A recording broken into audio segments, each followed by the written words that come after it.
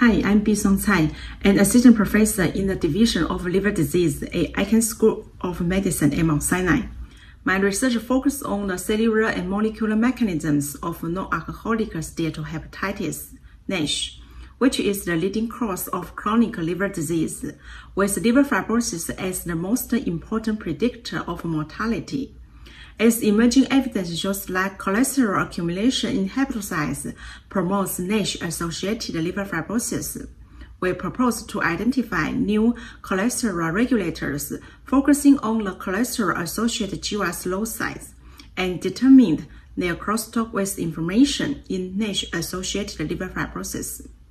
As inflammation can be resolved by specialized pro-resolving mediates, we further test our hypothesis that those pro-resolving mediates can maintain cholesterol homeostasis and protect against the NASH-associated liver fibrosis.